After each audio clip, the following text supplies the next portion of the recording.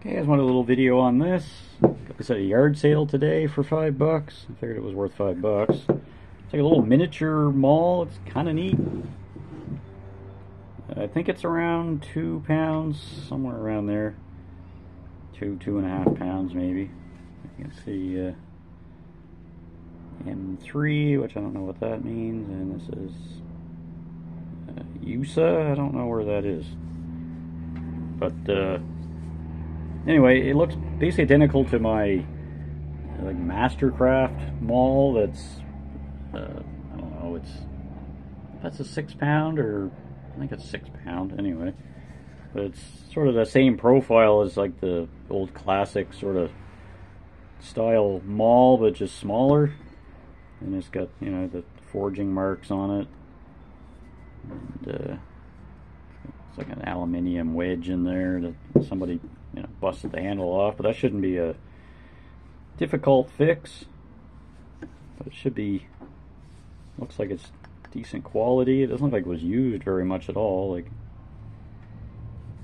still got most of the paint on it.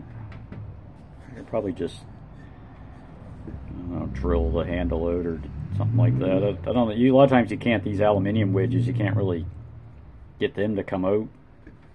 They just sort of crumble, but I don't know if I'd reuse it anyway. Might be able to just split the handle down here or something and take it out in pieces or something, but so I think even my Mastercraft bigger one has that same style of uh, uh, wedge in it, so maybe it's made in the same place in that USA country, I don't know.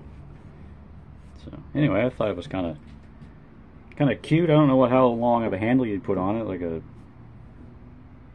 sort of like a 15 inch handle or sort of like a you know one-handed kind of deal. So, but it's got a actually I got an old sledgehammer that's the handle either broke or I had to like put the handle back on again and I if I buy a new handle for it then maybe I can use the remnants of that because I'm sure it'd be big enough to because this isn't quite a like it's not like a teardrop sort of one like on an axe but it's not quite a round handle like on a sledgehammer but it's I'm sure that the sledgehammer have enough meat that I could shave it down to fit in there so. But anyway I've never seen anything like that before. It's kind of cool so. Anyway talk to you later